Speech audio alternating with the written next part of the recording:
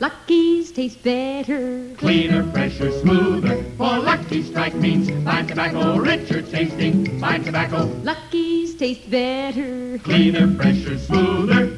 Lucky Strike, Lucky Strike. This is Don Wilson, friends. Of all the reasons a person has for smoking, one stands at the very head of the list. That reason is enjoyment. Why, certainly. You smoke for enjoyment. And what gives you enjoyment? Why, it's the taste of the cigarette. Yes, smoking enjoyment is all a matter of taste. And the fact of the matter is, Lucky's taste better. Cleaner, fresher, smoother. Lucky's taste better for two reasons that have really made cigarette history. First, they're made of fine tobacco. LS, MFT, Lucky Strike means fine tobacco. Fine, naturally mild, good tasting tobacco. Then, Luckies are made better. Made round and firm and fully packed to draw freely and smoke evenly. Yes, indeed. Made with fine tobacco, made better. Those are your reasons for always asking for Luckies. Those are the things that make Luckies taste better. So be happy. Go Lucky. Next time you're shopping, ask for a carton of Lucky Strike. Be happy, go lucky, get better taste today.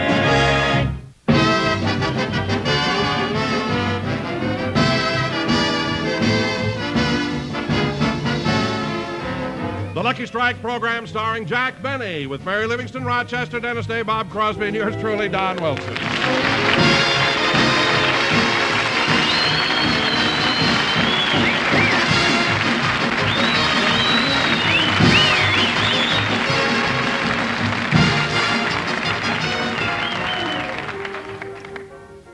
Ladies and gentlemen, Jack Benny and his cast are returning from their trip to New York.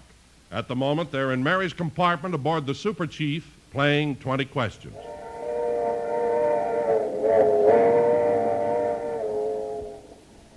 Now, let's see, Mary. We've used up 16 questions, and we found that you're thinking of something that's animal. He's very famous in show business and is over six feet tall. That's right. Oh, I know, Jimmy Stewart. No? Gary Cooper. Yep. Well, we guessed that one. Now, let's see. It's your turn, Dennis. Okay, I got a good one. Is it animal, mineral, or vegetable? It's animal, I think.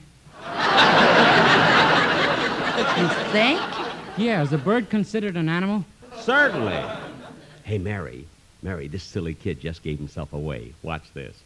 Uh, tell me, Dennis, is it a bird? Uh huh. You see, Mary? You see?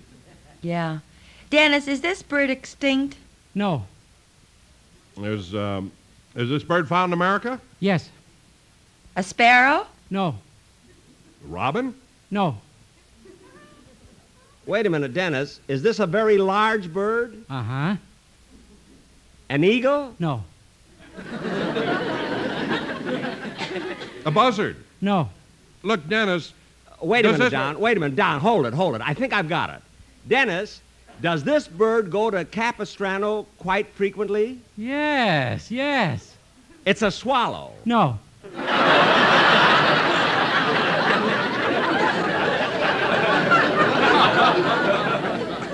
No? No. Does everybody give up? I do. oh, I give up. Me too. What is it? Walter Pidgeon.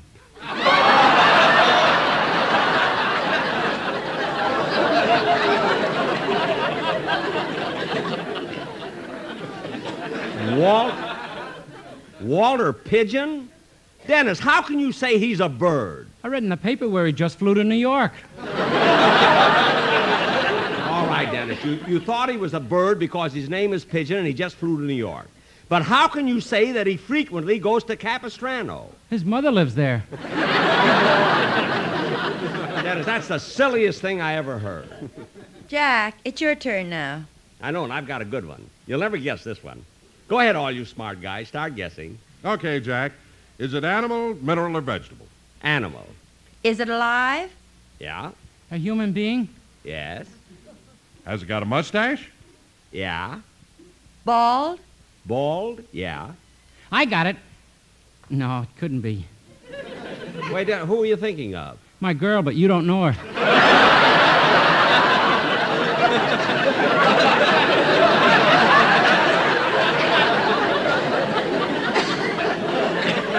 Oh, fine. Now, come on, kids. Put on your thinking cap. Uh, let's see. He's a man with a mustache. Is he in show business? Yes? Does he make pictures? Yeah? One of his pictures currently showing? Uh huh. I know. He's Herman Quigley, the assistant cameraman on the Humphrey Bogart's new picture, Beat the Devil. Gee, that's right. But how in the world did you ever guess Herman Quigley? It was obvious. What do you mean, obvious? Yeah, just before you went to New York, you ran into him at the Brown Derby. He'd forgotten his wallet. You loaned him a dollar and a half, and he's been on your mind ever since.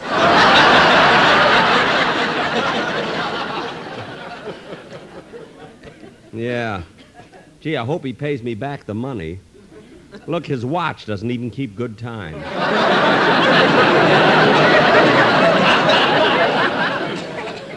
it's your turn, Don. Oh, you better skip me for a few minutes. I want to go back to my compartment and see if the porter took all the dishes out. Don, why is it whenever we're on a train, you never eat in the diner? You always have your meals served in your compartment. My wife makes me do that. Why? She doesn't want people to see what a pig I am.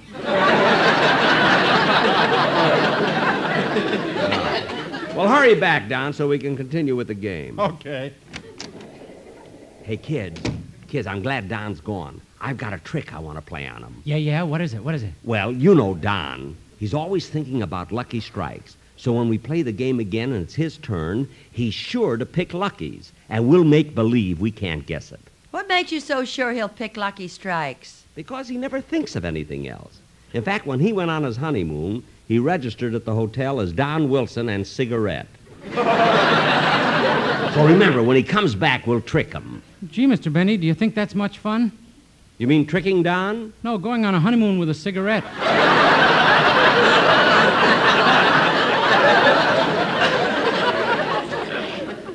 Oh, I- oh, keep quiet. Hey, that's him. Now, don't forget, kids. Come in. Oh, it's Bob Crosby. Hiya, Jack. Hello, Denny. Hello, Mary. Say, Bob, where have you been keeping yourself? Oh, I've been the, uh, in the lounge with Bagby, Fletcher, and some of the other boys in the band. We're playing a game called uh, Two Questions. No, no, Bob, you mean 20 questions. No, two questions ginger ale or straight? Well, that I should have known. I haven't seen Bagby since he fell off at Kansas City. Coming or going? Oh, he fell off going, too? Well, Bagby got back on. Remley missed the train entirely in Chicago. Well, you can blame that on Jack's program. Blame it on my program. Yeah, they keep singing Be Happy Go Lucky, and Remley overdoes it. Well, look, Bob, whether he overdoes it or not, as soon as we arrive in Los Angeles, we're going right to the studio for rehearsal. And if he isn't there, I'm going to dock him two weeks' salary. Oh, you can't scare Rem with that kind of stuff. You know, he comes from a very wealthy family. Remley, I didn't know that. Why, certainly, his father made a fortune growing sweet potatoes. Sweet potatoes. He's got the biggest yam plantation in Texas. Ooh, what he said. He said yam. Oh.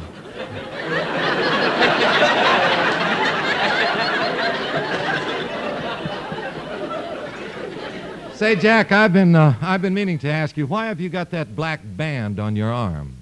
Well, tomorrow is March 15th, you know. Yes. Well, I better get back and check on the fellers. Uh, I'll see you all later. All right, so long, Bob. Now, Dennis, while we're waiting for Don, how about letting us hear the song you're going to do on next Sunday's show? All right, but I'd like to dedicate the song to my girl. Your girl? Okay. What's the name of the song? How you fix for blades? Now cut that out! and just do your song. Okay.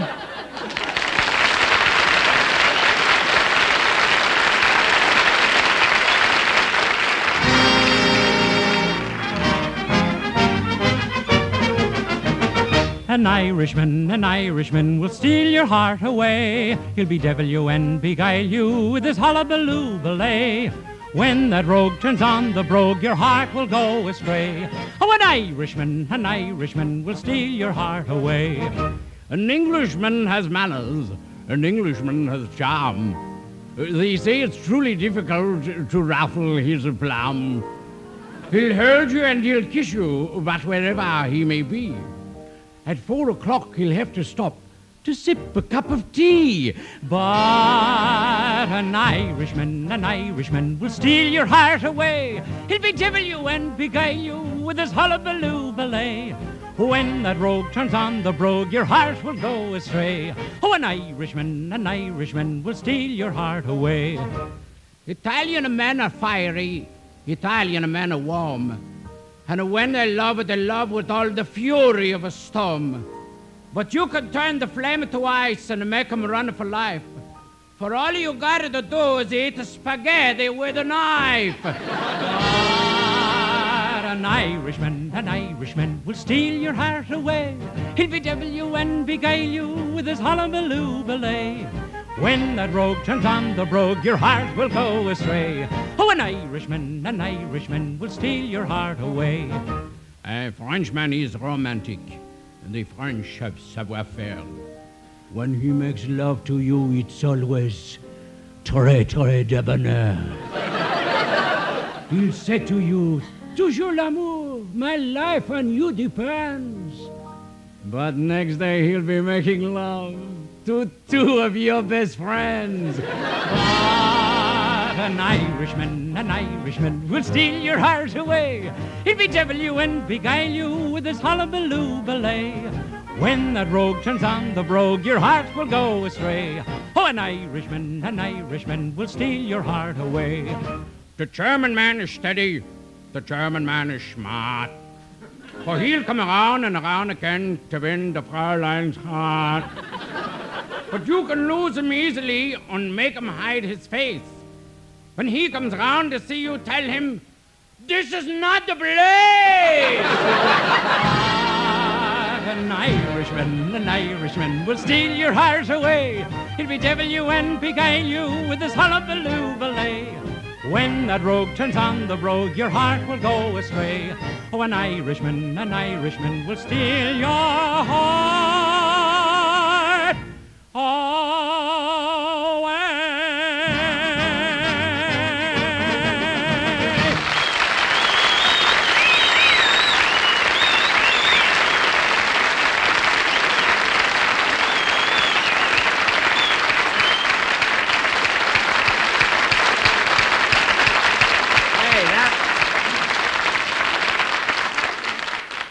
Was very, very good, Dennis. I know it'll be fine on the show Sunday. Oh, kids, that must be Don Wilson. Remember, remember the trick we're going to play on him. Oh, what is it again? Well, when it's his turn, you know, he's sure to give us Lucky Strike. So nobody guess it. Nobody guess that it's Lucky Strike. Come in. All right, kids, you still playing 20 questions? Yes, Don, and you're just in time. It's your turn. Ah, good. I've already got something on my mind, so start guessing. Okay. Get this, Mary. Don, is this thing you're thinking of nearly three inches long, about a half an inch thick, and white in color? Yes, yes. Is it round and firm and fully packed? Yes, yes. Oh, it's amazing the way you people are guessing it. Isn't it, though? Is it free and easy on the draw? Yes, yes. Now, come on, now, come on, come on. You're getting warm. You're getting warm. An electric blanket.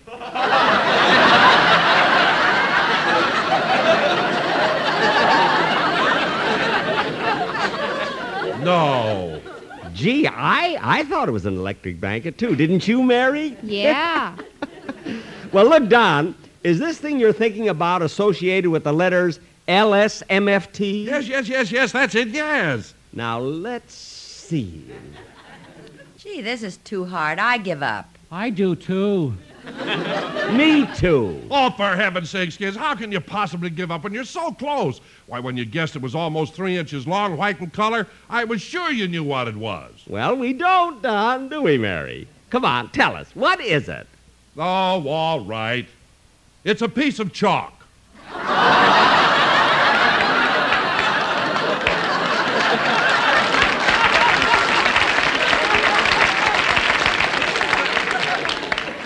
Uh, a piece of chalk? Don Wilson, you were thinking of a lucky strike and you know it. No, I wasn't, Jack. Now, wait a minute. I'll admit that chalk is white and can be three inches long. I'll also admit that it's round and firm and fully packed. But how in the name of Dorothy Collins are the letters LSMFT associated with a piece of chalk? But they are, Jack. LSMFT stands for Leibowitz, Sanders, McIntyre, Finley, and Teitelbaum. The biggest chalk manufacturers in the world.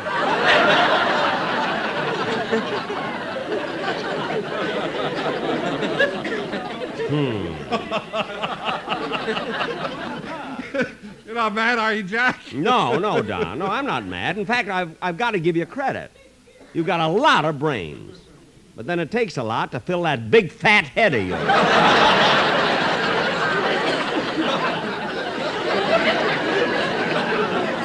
Chalk maker. Oh, come on, let's get on with the game. Whose turn is it now? Nobody's. I'm not playing anymore. I'm going to the club car and read for a while. See you later. Hmm. Largest chalk manufacturers in the world. Don just made that up.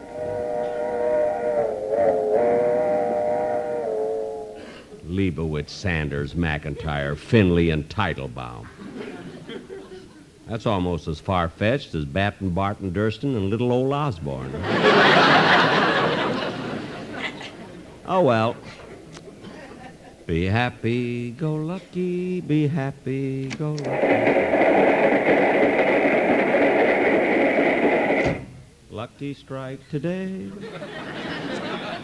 hey, we'll be in Albuquerque soon. Gee, that'll be a $126 worth of my ticket used up.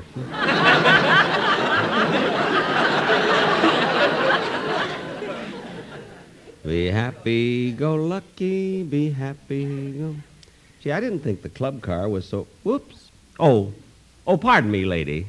Why, certainly. Say, aren't you Jack Benny? Aren't you? Yes, yes, I, I am, I am. Mr. Benny, would you mind autographing this magazine for my granddaughter? Your granddaughter? I'll be glad to. There you are. Are you going to Los Angeles? Yes, I'm going to visit my son in Beverly Hills. Perhaps you know him. He's a competitor of yours. Oh, is he a comedian? No, he owns a laundry.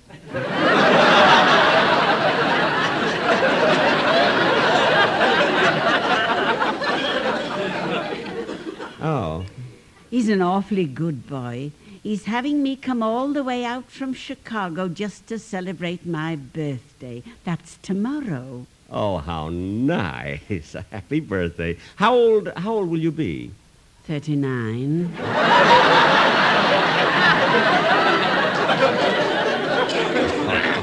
Oh, you're teasing me, huh? Yes, I am. I'm really 72. Well, then why why do you tell people you're 39? It gets laughs. Oh, oh, I see. Well, goodbye and thanks for the autograph. You're welcome. Goodbye. Uh, that's my fountain pen. Oh, oh, I'm sorry. I'm terribly sorry. Here you are. sorry. Gee, for an old lady, she's got eyes like a hawk.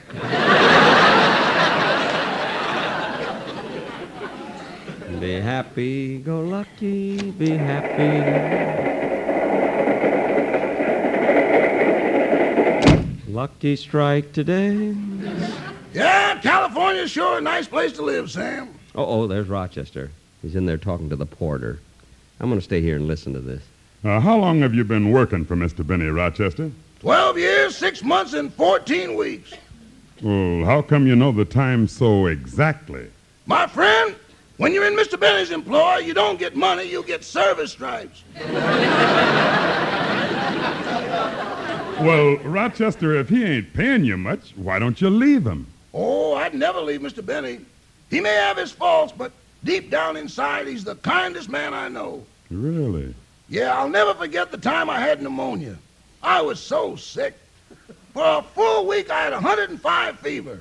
And all that time, Mr. Benny stayed right with me, fed me, and nursed me. No kidding. And then at 2 o'clock one morning, I passed the crisis. My fever broke and my temperature went down to normal. Mr. Benny looked at me, smiled, and said, Rochester, you're going to be all right. Then he yanked me out of bed and shoved a broom in my hand.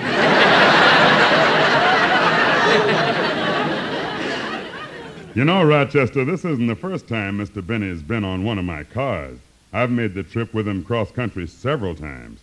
Man, it's murder. Oh, I don't mind the fact that he don't tip much, but whenever he's aboard, the train's always 15 or 20 minutes late. Now, a couple of years ago, he insisted that the train make an unscheduled stop at Newton, Kansas. Then once he made a stop for half an hour at Gallup, New Mexico. Once he set the super chief back a whole hour when he got off at Trinidad, Colorado. And this trip, I heard him tell the conductor to make another unscheduled stop. At Flagstaff, Arizona. Yeah, yeah. Has he got relatives in all those places? No, bank accounts. I wish he wouldn't discuss my private affairs. Rochester, I can't understand why Mr. Benny keeps saving his money like that. He's not married, he's got no family, no children. Who's he going to leave it to? What makes you think he's going to leave it?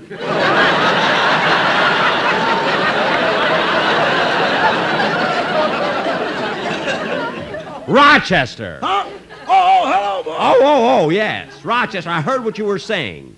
And if you don't behave yourself, you're not going to get that new gold stripe this year.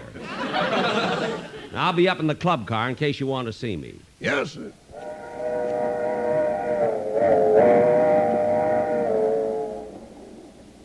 Gee, I had a good time in New York. Looked up all my old friends, ate in those wonderful restaurants. My sponsor was so nice to me. I spent over 20 minutes in his office. He let me sit down this time. He's a nice guy. And be happy, go lucky, be happy.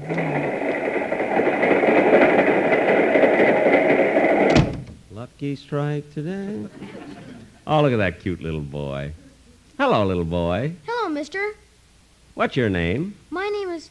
Say, aren't you Jack Benny? Why, yes, yes, I am. I recognized you from your television show. Really? Uh huh. I saw that one with Liberace, and it was great when you played your violin. Thanks very much. Thanks? I mean, you're thanking me for playing the violin? Yeah, the next day my mother let me stop taking lessons.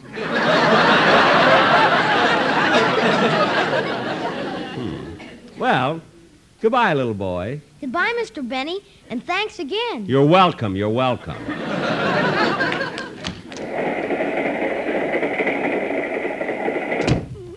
Gee, the club car's crowded. Oh, there's a vacant seat next to that man over there. Excuse me, mister. Do you mind if I sit here? No, no, no, no, no, no, not at all. Glad to have company. Well, thank you. well, here's a late newspaper. I think. Uh, Sure is exciting out on the road. I'm traveling for Watson's Woolen Underwear. Watson's woolen underwear? Oh, sure, you must have heard of us. We advertise on the radio. Really? Mm, Watson's Woolens fit you snug, keep you warm as a bug in a rug. One flat button instead of two. Watson's Woolens are the buy for you.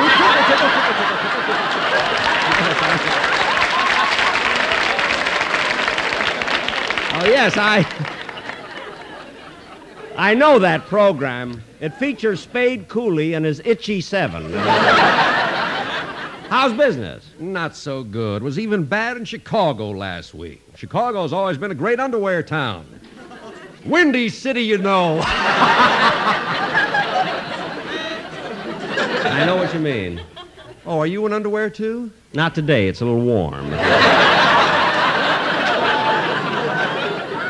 Have you been in the underwear business very long, Mr. Mr. In March. Uh, Mr. March, have you been in the underwear business very long? No, no, just a few months. I used to travel for the firm of Leibowitz, Sanders, McIntyre, Finley, and Teitelbaum.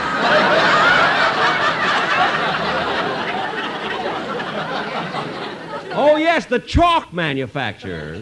hey, you've been around. Oh, I've traveled quite a bit. Well, so long, Mr. March. So long. Enjoyed talking to you, and don't forget, Hmm. Watson's woolens fit you snug, keep you warm as a bug in a rug. I won't forget. One flap button instead of two. Watson's woolens are the buy for you. Tickle, tickle, tickle, tickle, tickle.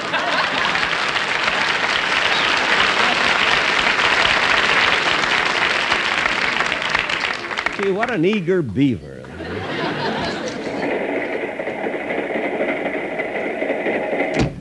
well, I think I'll go to bed. We arrive in Los Angeles so early. Yeah, no doubt about it. You sure have an interesting job, Sam. Hmm, Rochester's still talking to that porter. Yeah, you're right, Rochester. I've been across the continent over a hundred times. Gosh, you must know every inch of it. Yeah, and America's an amazing country. It has Harlem on the East Coast, Central Avenue on the West Coast, and all that waste in between.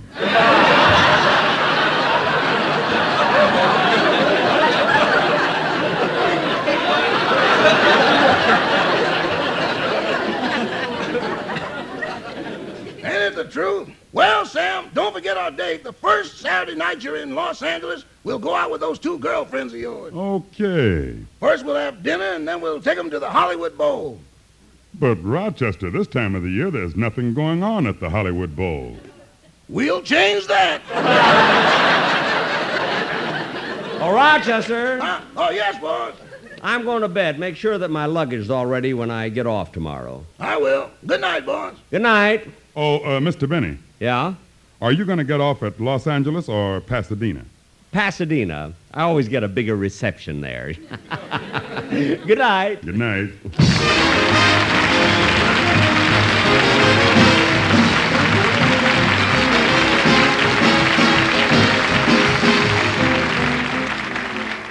Ladies and gentlemen, here's a reminder from the National Highway Safety Council.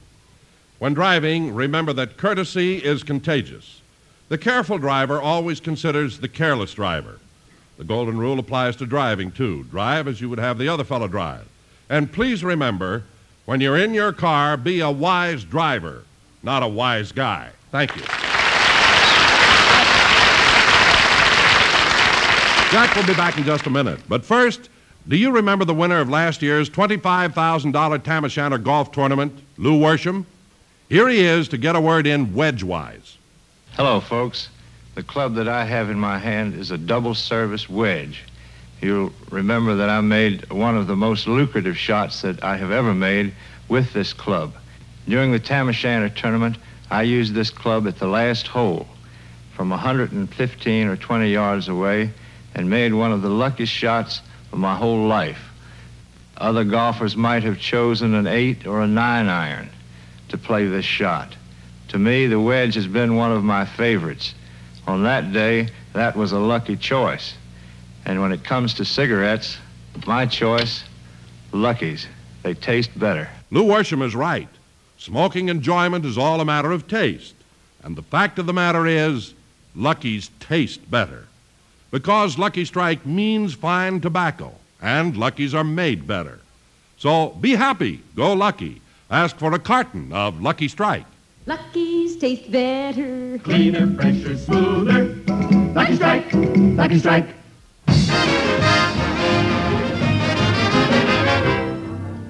Well, Rochester, here we are home again. Yeah, four weeks is a long time. Believe me, I, I got sick and tired eating at those restaurants. It's good being home. I'm a little hungry. How about a nice home cooked meal? Okay, boss, I'll do it right now. Good. What are you going to fix me? Well, I'll fix you some veal cutlets with sour cream. Mm-hmm. A side dish of asparagus with sour cream. Mm-hmm. A nice baked potato with chives and sour cream. Uh-huh. And for dessert, strawberries and sour cream. But, Rochester, why does everything have to have sour cream? When we left, I forgot to stop the milk. Well, go ahead and fix it. Good night, folks.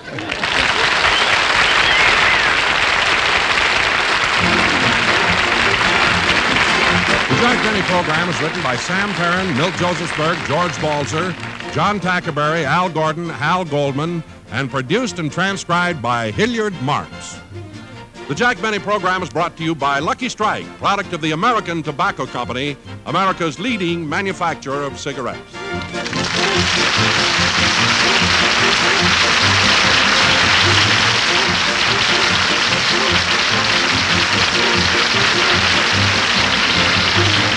Thank you.